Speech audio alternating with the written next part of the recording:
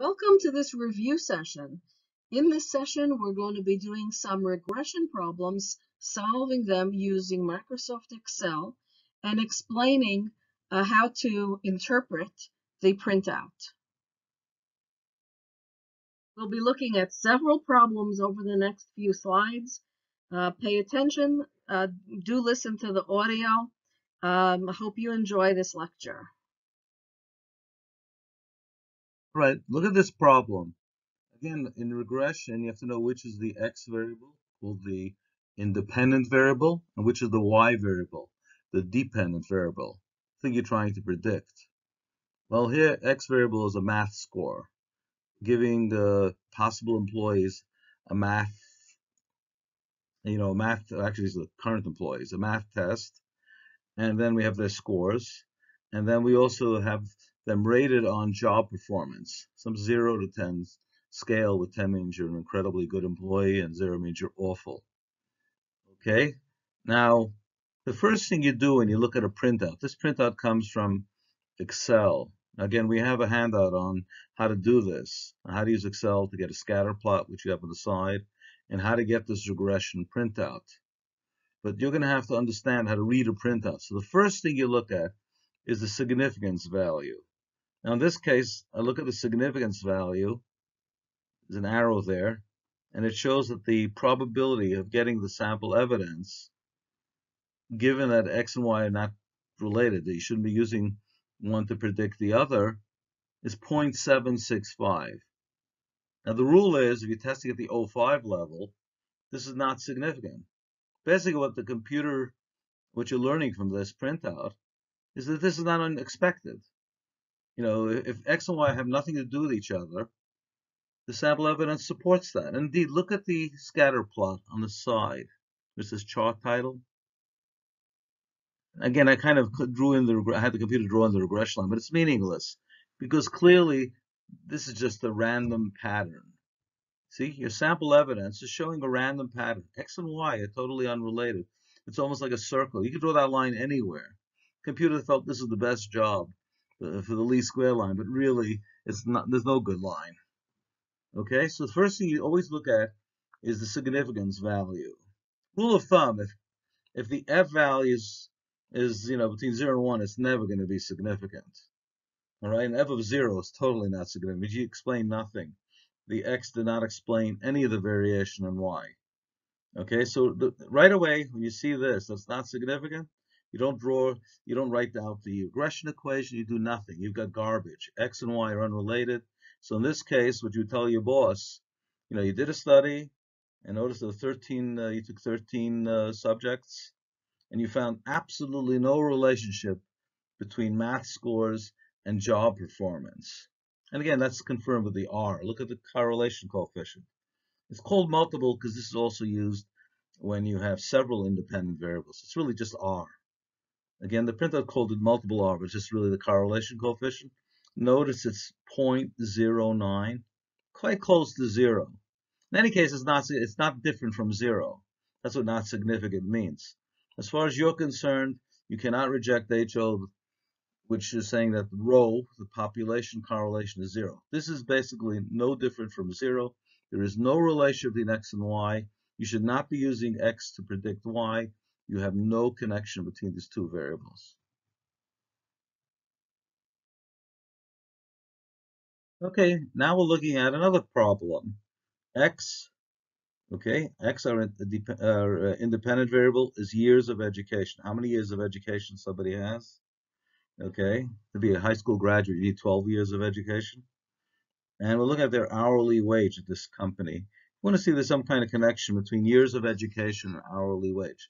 First thing you look at is the significance of f. And as you can see, it's way below 0.05, right? It's 0.00001. That one in a million, I think. Okay, one uh, one chance in a million of getting this kind of sample evidence. Now, the sample evidence is either that scatter plot or the R, the R value. But basically, the minute you see this significance value, you know that X uh, can be used to predict y. Now, first of all, let's write out the regression equation. Now, you see where it says coefficient? And you see the intercept? The intercept is the constant.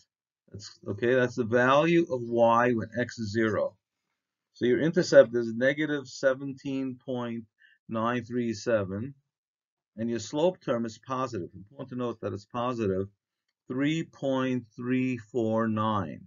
So the way you write out the write out the regression equation, y hat equals minus 17.937 plus 3.349x. X is years of education.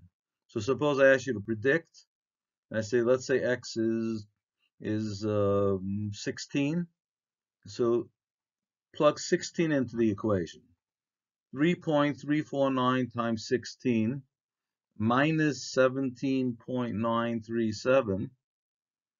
And now you've predicted the y hat, which is hourly wage, and that's your predicted hourly wage. That's from the line. Okay, that'll be the regression line. Now, other things of interest. You can tell your boss, well, the correlation coefficient R is a positive 0.868. Very strong correlation. We use the word strong on a 0.86. Besides being significant, which means not zero, you can say it's strong, 0.868. The R squared, now that's the proportion of the variation in Y, which is hourly wage, explained by years of education? Well, it's 75.4%. Did a lot of explaining. Let's just call it 75%. That means only 25% is left unexplained. We explained approximately 75%. Unexplained is 25%. Now that could be random factors. you may have other factors. Education may not be the only factor, but education did a very good job in explaining the variation in the Y, the hourly wage. The adjusted has a mathematical thing about degrees of, ignore it, as do degrees of freedom. We'll work with the regular R squared. And R squared is just R, the correlation coefficient squared, but it has a lot of meaning in regression. The standard error, we're not going to use too much. It's used for, for all kinds of inferences that we're not going to do in this course. Observations, you know, there were 20 observations. You can count it. There are 20 points, right? Because you're looking at essentially at 20 people. You're looking at the years of education and hourly wage. The only thing you have to realize is step one, look at the significance value. If it's significant, you can write out the regression equation. You write it out, and I told you what it was. y hat equals minus 17.937 plus 3.349 x. You can use that for predictions. I showed you how to do that. You explain what R is to your boss. It's a, it's a measure of association. It's 0.8, uh, plus 0.868 your R squared, another important measure.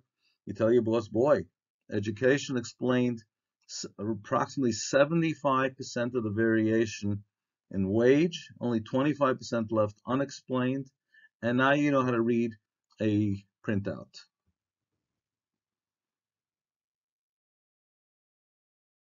Okay, let's look at this problem.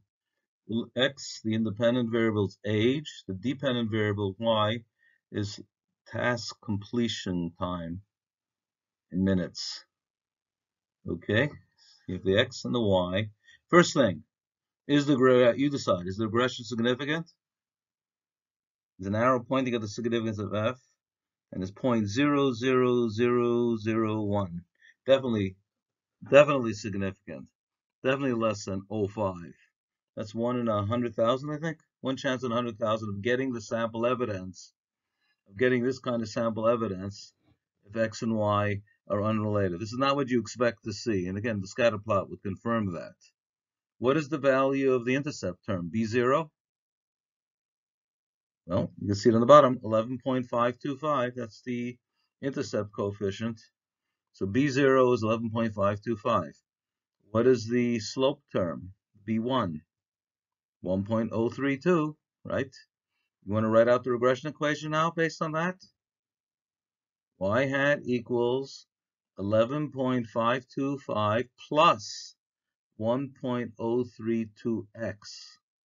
Notice the positive slope, which means the correlation is also going to be positive. What is the correlation coefficient? Plus 0.868. The correlation coefficient always has the same sign as the slope. There's a positive relationship between age and how long it takes to do the task. The older you get, the longer it takes to do the task. What is the proportion of the variation in y, y is task completion time, that's explained by x? How much does it explain? How much does age explain? Well, you can see from the r squared value, 75.3%. Okay, 75.3. Let's round it to 75% approximately. Again, 25% is left unexplained. Other variables perhaps, but uh, 25% is unexplained. 75% is explained. So again, you tell your boss, I found a significant relationship between age and task completion time. And notice what happens. Every year you get older, it takes another minute to complete the task, 1.032 minutes to be exact. That's the slope, the change in y, the change in task completion time over age. Every year means another 1.03 minutes to complete this task. If you ask to predict Let's say somebody is 50. How long would it take based on your regression model? Plug 50 into the equation. 50 times 1.032 plus the intercept plus 8, 11.525 and you'll get your answer. Okay, let's look at this regression now. Age is X, the independent variable. The dependent variable is job satisfaction score. Are they related? Question one, is there a relationship here? Significant? Answer is, look at the significance value of f. 0.0004. That's a lot less than 0.05. So we're testing at the 0.05 level. Yes, it's significant, highly significant. In fact, there's 10, 100, 10, four chances in 10,000 of getting this kind of sample evidence. That's the scatter plot of the R, of getting this if nothing is going on. Although is not what you expect to see. Okay, so we have a significant regression. There's a relationship between age and job satisfaction. What's the value of the constant? B0? 109.27. Okay, we rounded a little bit. What is the value of the slope term? Now, this is important. It's negative 1.0448. There's a uh, negative relationship. So that means that the slope uh, is negative, so the correlation coefficient is negative. Let's write out the regression equation. Okay, y hat is 109.27 minus 1.045, we just rounded, minus 1.045 rounded, okay, x.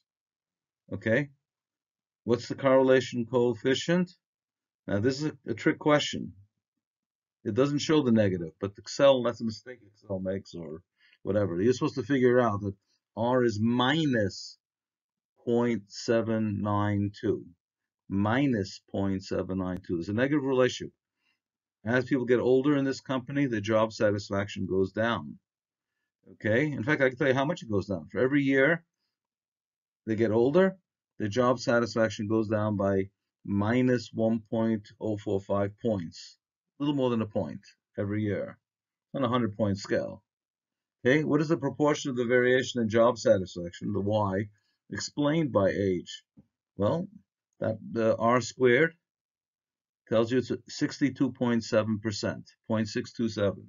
We explained almost, not quite, 63%, which means almost 37% has been left unexplained. So we might want to use another variable, and that would be called multiple regression, but not in this course. Okay? Okay, let's look at this problem.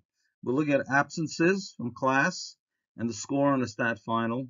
And as you can see, there were 17 observations, so we're looking at 17 points, 17 people. Okay, now you can get the scatter plot, you know how to do that. All right, first thing, is the regression significant? Well, look at the value there, 0.0030. And three chances in a thousand of getting this kind of um, sample evidence, a lot less than 5%. 0.003 is less than 5%. It is significant. We have a significant regression Okay, so there's a relationship between absences, which we're going to use to predict score on the stat final. So first, it's significant. Okay, question two. What is the value of B0? B1. Well, the uh, the intercept term, the constant is 88 point, we're rounding now, 88.75. That's the constant term. The slope term again is negative, minus 4.40. So we write out the equation. Y hat, which represents the score on the stat final, is 88.75 minus 4.40 times x. Okay, if you want to predict the score for somebody who mixed, who misses class eight times, plug eight into the equation, 88.75 minus 440 times eight, and your prediction is they get a 53.55 on the exam. Okay, just make sure again, you know the slope is negative, a negative slope. So what happens to your correlation coefficient? It's going to be negative 0.6741. Again, the correlation coefficient and the slope have the same sign. There's an inverse relationship between absences and the score on the stat final. So again, make sure you know that R is a negative 0.674. Okay, what is the proportion of the variation of Y that is explained by X? Well, X did a good job. It's pretty good, but not perfect. For, explained 45.4%. Want to be more exact, 45.44%. A bit more than 45% was explained, which means close to 55 was unexplained. You might need some more variables to explain. Now, one other question. Look at the intercept. I forgot to mention this. Okay, what is that? That's the value of y when x is 0. So what is the value of y when x is 0? x is 0 means no absences.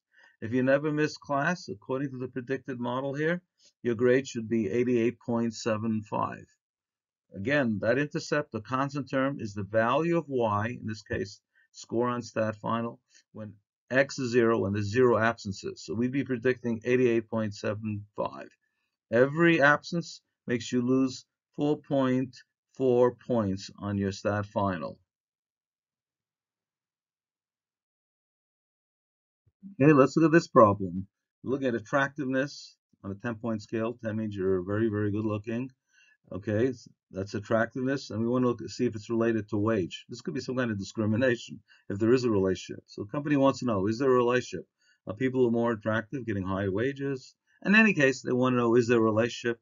And what is your conclusion? Look at that significance of F, 0.283. Again, it's not significant. That's a lot more than 5%. So the pattern you're looking at could very well be explained by chance. And the correlation coefficient, even though technically it's R is 0.268, it's not different from zero. You would say it's not significant, which means you're not, you know, it's not different than zero. You don't have evidence that it's different from zero. And with the same with the R squared. Look at the R squared, 0.072. You really haven't explained much, but you haven't explained more than zero as mathematically, statistically. Again, really, when you take one look at this, you just tell your boss, no relationship between attractiveness and wage. There's no relationship, period. Don't use one to predict the other. They're not related. Remember, as always, the best way to study for a, an exam in this statistics course is to do as many problems as possible, and that includes problems which you solve using Microsoft Excel.